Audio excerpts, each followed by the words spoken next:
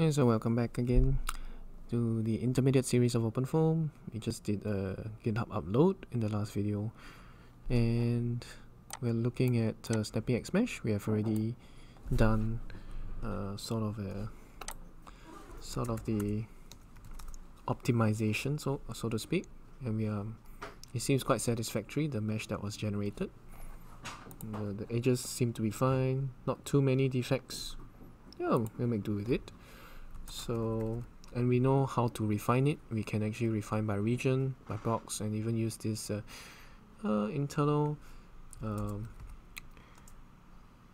implicit uh, feature snap which will help us deal with the edges. So that that's very helpful. So we'll just uh, go through again the Snappy Hex mesh dict. Alright. So this is the shape we are importing cylinder.stl and the refinement parameters we can just leave it. But what's very important is that you know the refinement surfaces and what these levels mean. The minimum and maximum level. And then this implicit feature snap is very very very important in order to get the corners right and not have them in a very funny shape.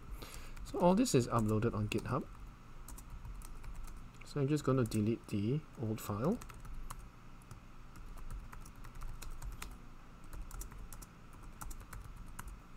okay. So let's go to the github. Since this is one successful okay. Uh, so next step. We want to take a look at uh, what uh, boundaries there are. For that we can look at the constant folder. We look at the polymesh. Alright we look at the boundary. Oh sorry. Vi boundary look. Normally uh, we want to have multiple uh, boundaries so to speak. We want to have one inlet maybe the other side is an outlet. Then this curved part will be our wall. Uh, and normally also when we import STL files they come in AC, AC uh, I don't know how to pronounce it. ASCII format which is something like he here they come in SC format ASCII format and by then you'll be able to use the boundaries. Uh, you'll be able to define boundaries from there. However uh, not all STL files are like that and sometimes we will have to work with binary files as well. So I mean there are lots of guides that tell you how to define the face and the patch from ASCII files but uh, we'll work with binary files in which we can't do that. Because if we try if we try and uh, hmm, QA yeah if we try and take a look at uh, the tri-surface file or VI tri-surface uh, cylinder STL we'll just look at this. It's a complete mess. Uh, we don't know what's going on but that's fine. Um, we'll have to find some workarounds in order to define our boundary conditions properly. And for that, we'll need to start by splitting. Oops, wrong one. VI polymesh uh, boundary. We'll need to start splitting this uh, this piece, this cylinder uh, boundary or the yeah cylinder boundary up into segments. Alright we'll need to cut this up. And for that we will need to do something called use something called toposet so let's uh, let me try and you know uh, illustrate first. So we'll go somewhere very familiar first. Right the cavity folder. Form. So we go to the cavity. Yeah cavity and you go to constant and we go to polymesh and VI boundary. Look at this. There are three faces in the cavity case. There's a moving wall which is the top of the cavity. There are fixed walls and then there's a front and back denoting that. Okay this this is a a 2D calculation. We don't want anything else. So ideally in this uh, in this uh, 3D surface you have to split up the faces right? So if let's say there's a cube. Okay there's a cube here. Or a cuboid a 3D shape. Ideally maybe the front face and the back face the right and left top and bottom all these should be assigned they, they should be grouped up differently. So based on the way that they are grouped up based on the patches uh, that they have they can be assigned boundary conditions. So ideally we will want to have this as one face this as another group of face then the curved parts also as another group. And to do that we need to select these cells or these faces. We need to select these faces specifically. We need to select these faces specifically and we need to select all the outside faces in the middle. Right um, now trouble with meshes is that trouble with meshes is that there are more than uh, not all faces are external externally facing.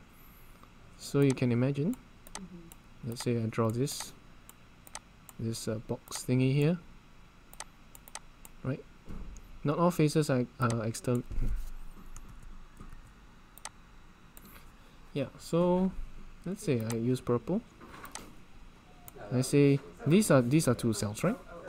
So this this uh, in this cell is actually an internal face and if I use orange to coat maybe the top cells this is an external face right? So we only want external faces to uh, group up to kind of uh, tell OpenFOAM that okay I only want to select these orange colored faces to denote one one set of boundaries so what TopoSet does is that TopoSet will tell you okay I can select these two cells and I call it like uh, maybe a group 1 okay I should use typing. We can select some of these faces and we make a face set. So we call this face set 1 maybe this right hand side for example we will just call this face set 2 so what TopoSet uh, helps us do is to uh, convert these groups of faces, the external ones especially, into face sets. Once once there are once we have face sets, we can actually then convert them into patches. Patches, right? So these patches are basically just uh, groups of cells that are uh, groups of faces that are ready to be assigned boundary conditions. So the third step after that is to just assign boundary conditions.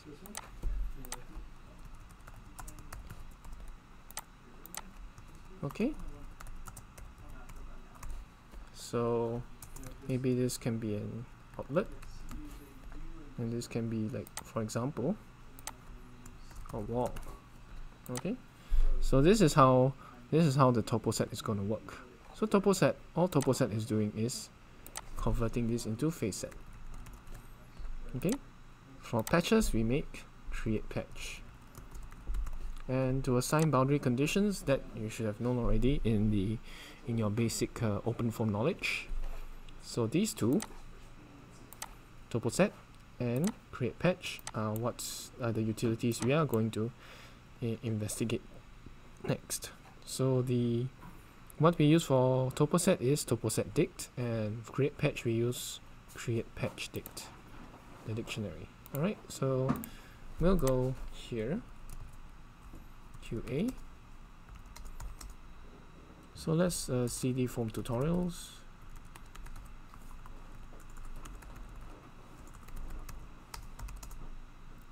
and let's find in here. Topo set dict. Alright so we have lots of topo set dicts here. Okay. So we're just gonna copy one of them over. Okay so there's pimple foam piso foam any of these. But we will need to learn what these entries are talking about. Because like snappy hex mesh dict toposet dict has yet another kind of uh, uh, thing for us to yeah it is it has its own language it has its own uh, syntax for us to get familiar with. So let's uh, go to pimple foam. For example this one cd yeah I'll go here and let's see toposet dict okay so we have we have this thing called actions and then there are some things that this toposet dict is doing. Okay we'll go through them slowly in the next few videos. So uh, these are some of the things that we are going to look into but uh, for now I just want to introduce you to what what we're going to do the next few videos. Look at toposet and then we want to create patches from them. After that we can start assigning boundary conditions and we can start simulating the flow. Okay so thanks for watching. I'll see you guys in the next video. Oh but okay actually might as well. Before before we go on to the next video we can copy this toposet dict over. Cp ar uh, cp toposet dict and where do we go? Uh we want to go put in this uh, github software. Hmm. Snappy pipe. System. Alright so I just put all this github software and snappy pipe here